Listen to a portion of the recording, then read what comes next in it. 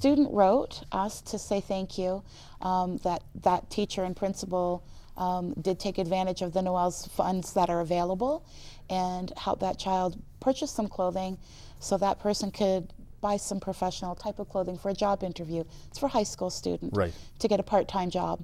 And that person got that part-time job and they wanted to let us know thank you for the opportunity. Noelle's big thing was she, she used to call her students smash hits. Uh, that was her big thing. You're a smash hit. So she was all about positive reinforcement and encouraging these students. So growing up great can be difficult for certain children. So she was always looking to do her part to give them that same opportunity that she knew she had. Noelle grew up great, and she just wanted to give that opportunity as best she could to other children who could use a little bit of help. Right, right. Sometimes that's with a warm pair of boots or an extra lunch.